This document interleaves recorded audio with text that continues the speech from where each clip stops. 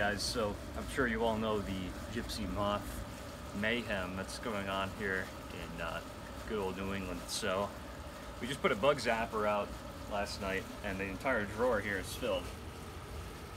And you can see some of them are still alive and flying away. So, um, Get him. you know, the store doesn't really have anything that can kill a mass swath of these things. So I, I figured I'd take care of this this way I know how.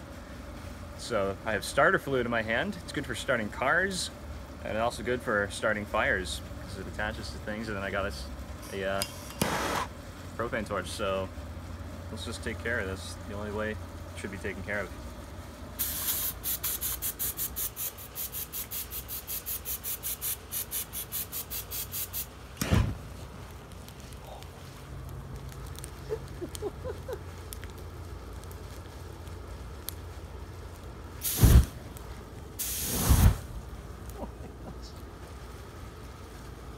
Gone. It took care of it pretty quick, didn't it?